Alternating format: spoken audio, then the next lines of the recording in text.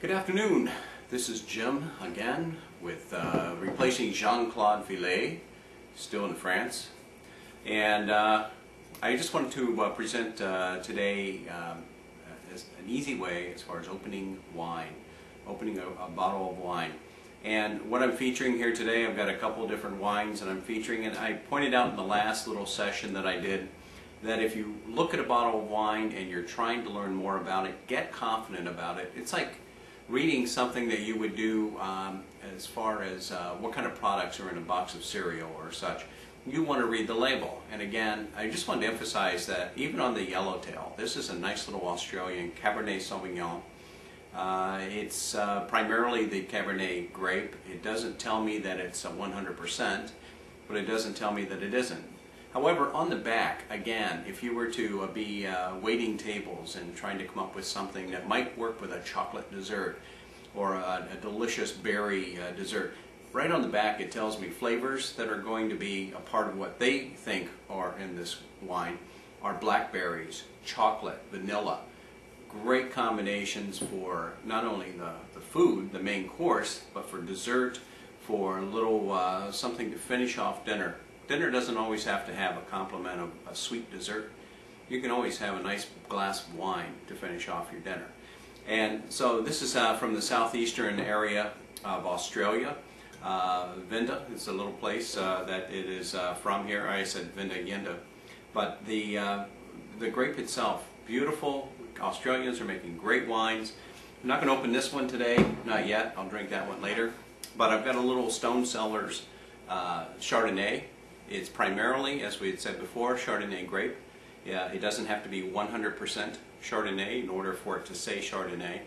So it has to be majority, and that's usually 60% um, or more. Is It's usually 50% or more, but you're going to find more than 60% of a grape. This one tends to want to emphasize the fact that uh, a cirrus flavor or apple or uh, those kinds of flavors are what are going to be uh, prominent uh, or predominant here. Tropical fruits. Great wine to get nice and cold on a hot day. If you're serving on a deck out on the restaurant, uh, in the back of the restaurant, this is a great wine to serve ice cold. Let your guests sit there and just chill and enjoy this wonderful wine that uh, uh, can be ice cold as well as a nice Sauvignon Blanc or a uh, Chenin Blanc. Great wines uh, Pinot Grigios, Pinot Gris, any of those can be great wines to get ice cold and sit on the back of the dock or deck on a hot day uh, and, uh, and enjoy. And then consider what you're going to have for dinner. So we're going to open this one up. I always want to keep this simple. This is a primary, uh, this is a pretty standard type of key that you'll find in most restaurants uh, or most waiters are, are using. Uh, they're going to find a nice little blade. You're going to want to keep a nice little edge on this blade and uh, sometimes your chefs will do that for you if it starts to uh, get a little dull. You have the corkscrew itself, excuse me for my little hiccup, and of course the part you're going to put on the edge of the bottle. I'm going to do this uh, not so quickly, but I'll just take my time and do it nice and clean. You're going to see on the bottle itself there are two edges, one up here at the top and one down at the bottom. Uh, depending, uh, I mean if your restaurant has a preference, then uh, go with the preference, but normally you can select one of those and use it as your wedge or your lever um, uh, fulcrum if you want, uh, just to kind of guide your cut all the way around so you have a nice clean cut. If you can, don't rip off all the foil. Sometimes it happens, so clean it all up. Make sure the bottle looks nice. So, here we go. My head's disappearing, but my body's still here. I'm going to, if I were to serve this to a guest and I presented it and they said, oh, that's beautiful, we'll take that. I'm going to keep it in my hand. I, I prefer not to put it on the table. And I usually have a towel within my hand, but I want to keep that label pointed towards the guest themselves. And I'm just going to go as far as my arm will take me over here on this other side and bring this blade all the way around and then finish it by flipping it back in my thumb here and just kind of slowly guiding it back around. Just kind of peel up. So you've got a nice clean little cut. You've got a clean edge around the bottle. And if you've got an apron or a pocket with you, as far as your clothes, just stick it in there. Tuck your blade away. You can fold this part out if it isn't folded out and get your blade, your uh, corkscrew.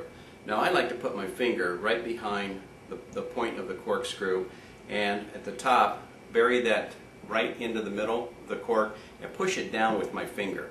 And as I'm pushing it down, I'm lifting up. So now it's going to give me my guide, and I'm going to give it a little turn. It's going to give me a nice straight straight in. Again, I'm not tilting this bottle to the guest this way. I'm just showing you that this is going in nice and straight. I don't want to bury it all the way in, but I want to give a little start on the cork itself. So this uh, part, this is where you're going to use a little bit of uh, science and you want to pull this cork, you want it to come straight up. And you don't want it to bend or twist, you don't want to crank it this way or that way, but you want to use this little lever here as a fulcrum. So you use your finger to guide and keep this against the, the top of the bottle and you're just going to pull and break this loose.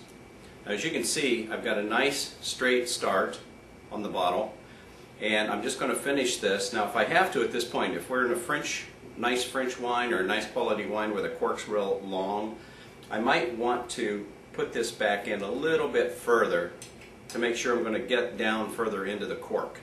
From there, here I go. I'm just going to finish pulling this out nice and slow. You're right at the top now.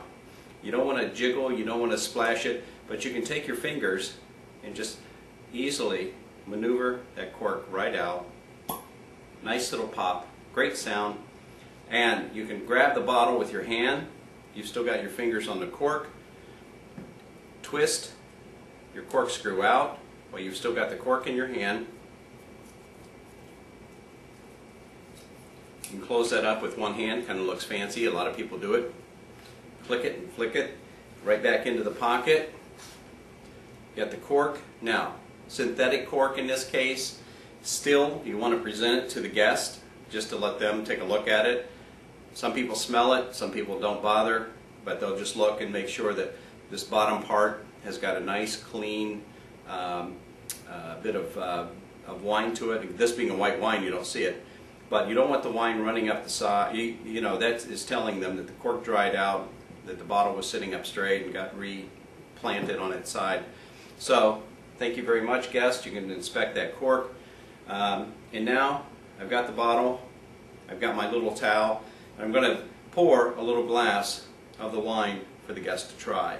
And uh, next, uh, we'll talk about uh, tasting the wine, really getting some of the flavors. Everybody picks up a different flavor.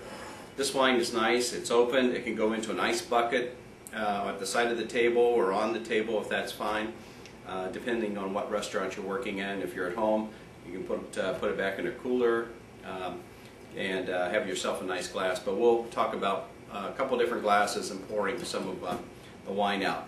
This is Jim with howtobeabetterwaiter.com. Thank you very much for joining me and I hope that uh, we see you real soon. Uh, we have other websites, by the way, if you have a chance to check them out. The Concierge of St. Pete or conciergeofstpete.com will let you uh, let us help you plan your visit to St. Petersburg, Florida. Also, we've uh, created a little blog called um, uh, the uh, Concierge St. Pete Vacation Blog. So that'll help. we're going to start putting some videos on there and some things from local restaurants and businesses in the St. Pete, Pass-a-Grille, uh, uh, Madeira Beach, Treasure Island, all this area that we have, this Clearwater area that's beautiful in, in Florida, so we can get you down here. We'd love to have you come down and visit. Again, Jim with howtobeabetterwaiter.com signing off. Have a great day.